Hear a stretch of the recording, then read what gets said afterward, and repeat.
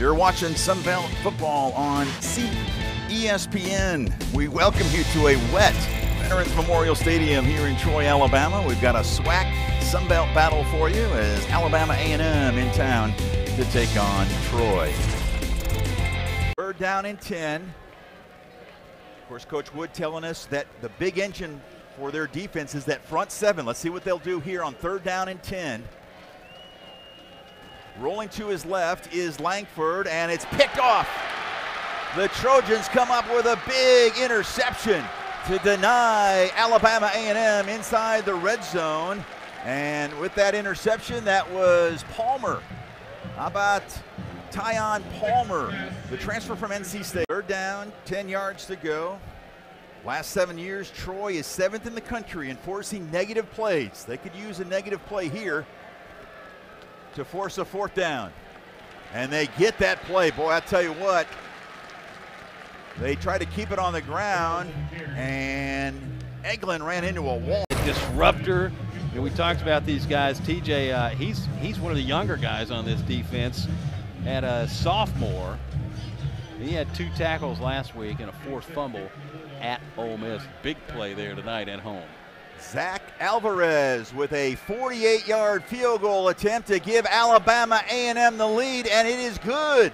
Running pro-style offense here, the home team is uh, for the first time in a long time. A little flea flicker, and Watson looking for Stoudemire, and it's picked off at the 20-yard line. As Coach Craddock went into his gadget plays, but Moses Douglas makes the pick, his first of the. Did get the hit on Langford there, and there's something to be said for that too, because if you can hit a quarterback early, make him a little uncomfortable, it can be the difference in the night. Uh, and the difference so far, Watson got hit on the first plate, Langford got hit for the first time just now. And again, the pressure, and the Trojans get to Langford. That's Javon Solomon. Oh, he is a big play. 11:37 left in the first half. Troy has it first down and 10 at its own 20 yard line. A little play action. Watson completes across the middle. And that was Jabre Barber making the catch. Charles Bell with the tackle. Now, they haven't done a great job here tonight. Just seven carries for 19 yards between two rushers, Woods and Vidal. Third down and short. Watson. Pressure, avoids getting sacked.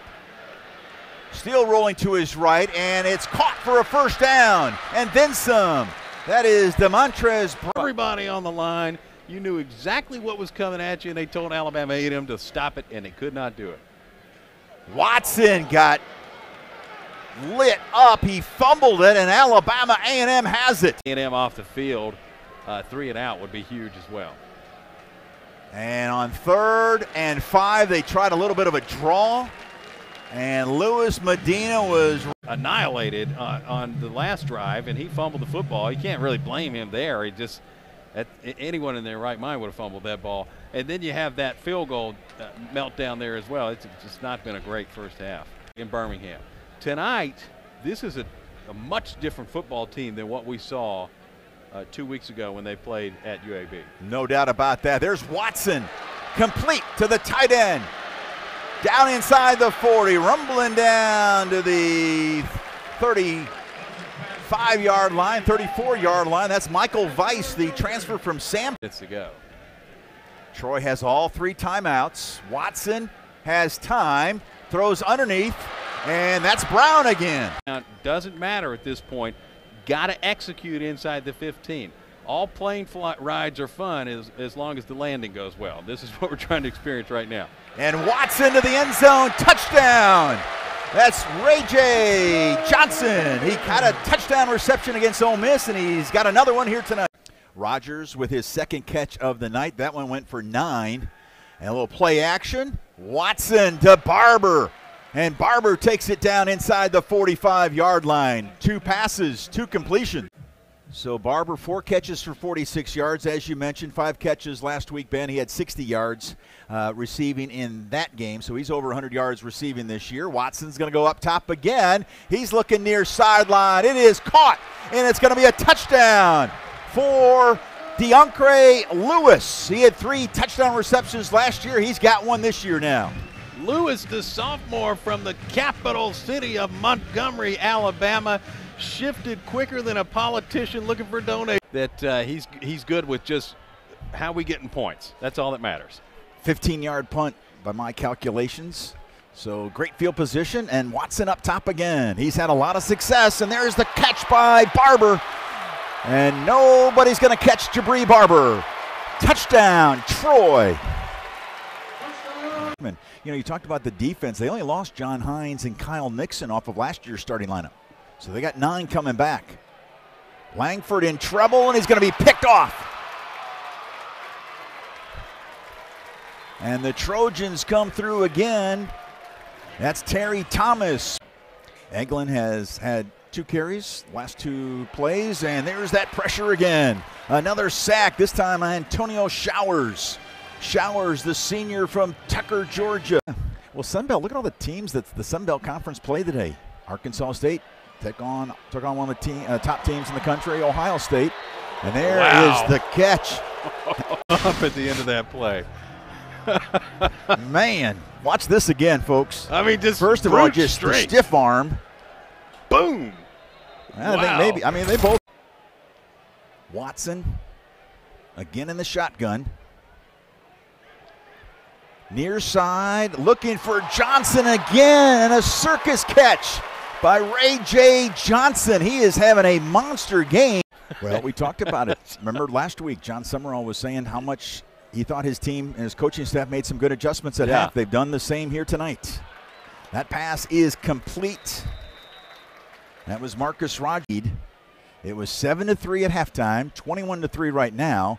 Watson to the end zone. Touchdown, Troy. That's Stoudemire.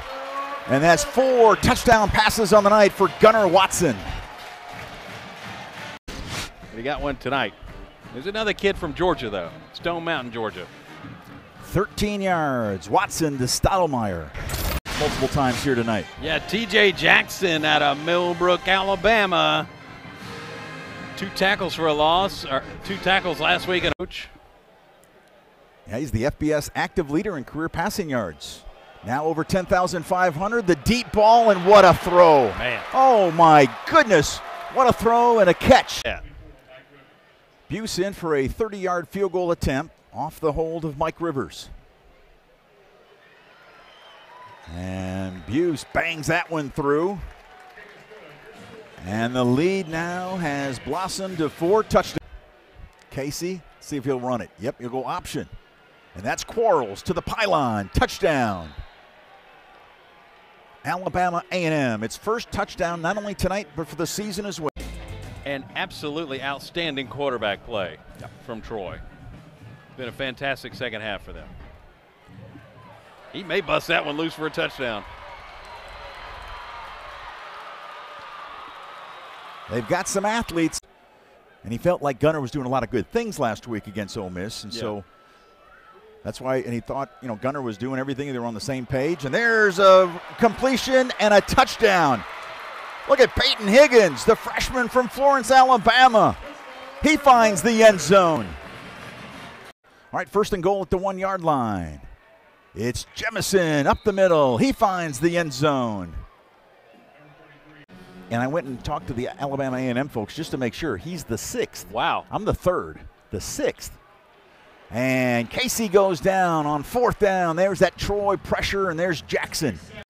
To Troy head coach Jon Sumrall. He now has his first career win as a head football coach. Good work tonight. Ben, how about some final impressions? I thought that Troy grew up a lot at halftime and going into the second half of this ball game. There's a lot to take away from this. I thought that Alabama A&M grew up a lot in this game as well. Uh, so both teams making great strides as they get into league play. Next week, Alabama A&M's got Austin Peay at home. Troy heads into the Lions Den at App State and can try to shock the Sun Belt world with an upset on the road next Saturday. Boy, that would be something for Jon Sumrall. Nice conversation there with Coach Maynor. And with that, we will put a bow on our coverage from Veterans Memorial Stadium.